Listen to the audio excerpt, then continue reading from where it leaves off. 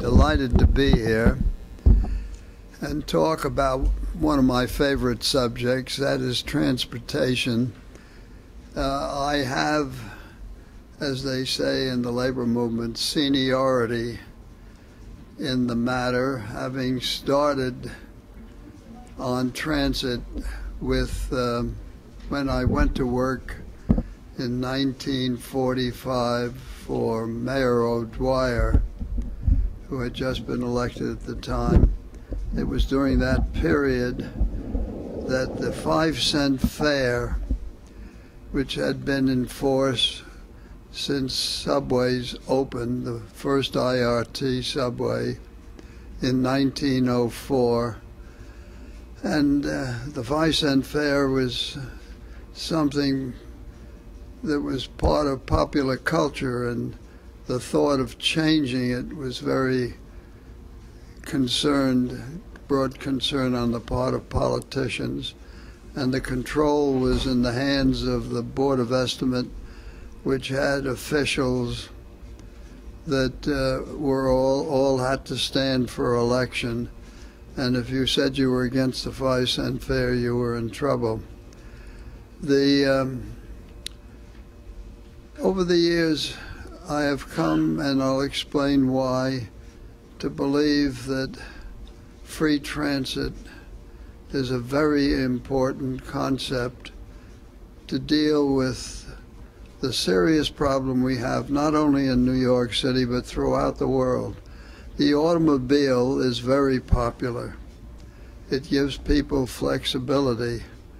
On the other hand, there's just so much room for automobiles, and congestion is one of the most serious problems that countries, particularly cities, and the larger the city, the more serious the problem faces. And I was surprised that it did not get mentioned during the very interesting debates between Hillary and Obama. The um, thing about mass transit, about um, free transit, which used to draw a laugh when I mentioned it, as if it's something that would be great if you didn't have to pay. If you don't have to pay, that's very attractive. The um, until you analyze why and what I think was wrong and I don't say this in a critical way, with the mayor's plan for congestion pricing. Not that it shouldn't take place, but the promotion I thought was in the wrong order. I thought we should start out with free transit. First of all, that would attract people who wouldn't have to pay, and there are more of those who use the subways than there are people who drive automobiles. And I do think, and I do hope, that the question of free transit and its relationship, as I'll explain in a few minutes, to uh, automobile traffic should become a principal subject of debate throughout the city during the 2009 mayoral election. Free transit by itself would reduce congestion according to this book we have and the study that was done and the, on the spreadsheet that shows the interrelationship between automobile transit and mass transit. And the basic factor that people overlook is that they are interrelated. If you go by automobile, you're not going by mass transit. If you go by mass transit, you're not going by automobile. And you go the same purpose with either system to get to where you want to go. So um, if you start out by saying transit should be free, according to our study, that by itself would be a 15% reduction in, in congestion. people would switch from the automobile to free transit.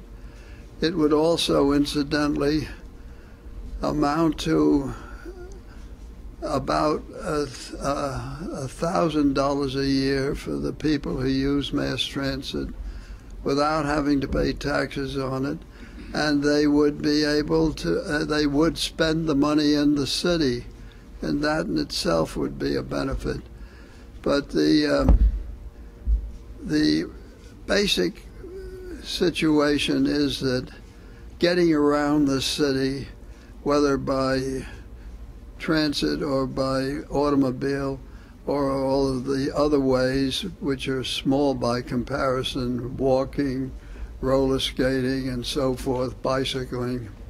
And they're very good, but the two principal ways are automobiles and, and um, mass transit. And they are interrelated. If you go by subway, you're not going by automobile. It's just simple as that. And the um, thing that occurs to me is that instead of starting out by saying, let's have congestion pricing, and I was very much in favor of the mayor's plan, because you start out with a proposal that a lot of people are, will be against. You say, would you rather um, pay more or less? You're going to opt to pay less. So if you start out with congestion pricing, you're starting out with something which, uh, what's his name, Richard Brodsky, who represents people in Westchester who come into the city by automobile and he's violently against congestion pricing because his, his, the people he represents don't want to pay it.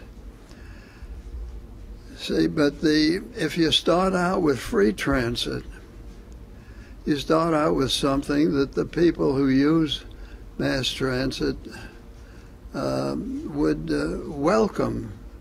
If you have a choice, would you rather pay or not pay?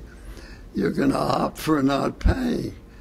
And but then, it, as I said, that produces a 15% reduction in congestion. But the next question comes: Where are you going to get the money for mass transit to be to make it free? So Richard Brodsky and I, I didn't exactly debate this with him, but we had a contentious discussion says tax the rich. And th- that would do it, but it wouldn't exactly please the rich to have it, so they would be against it. He also said the real estate people would benefit from this, so maybe they should pay for it. But actually, the people who drive automobiles will be the best beneficiary because roughly speaking, because of the 15% reduction in in congestion that would come from free transit, if you add also congestion pricing, which by itself produces a 6% drop in congestion, so you'd get more than a 15% improvement.